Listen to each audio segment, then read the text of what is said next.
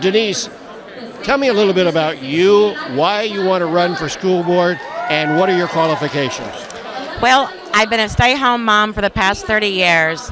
I have dedicated my life as a child advocate. I currently am a guardian ad litem. My biggest reason for running the school board is I care passionately about our kids, our teachers, and our students. I want to change the culture in this district, and I want to do amazing things for our kids, teachers, and students. All right. The number one problem that you would like to see solved in the school system? The culture. I don't think we can fix anything else until we fix the culture. Tell me what you mean by culture. Well, the culture is that that that teachers are not being treated fairly and properly.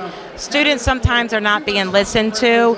Um, parents don't have a voice, and that's one of the biggest things I want to do is give a voice back to all of those people.